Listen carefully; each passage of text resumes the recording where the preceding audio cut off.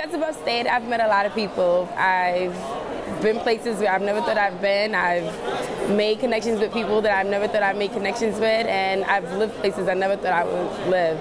I've had great friends, great family members, and Buffalo State's a home, including the cross country team's cool. So that's why I chose Buffalo State.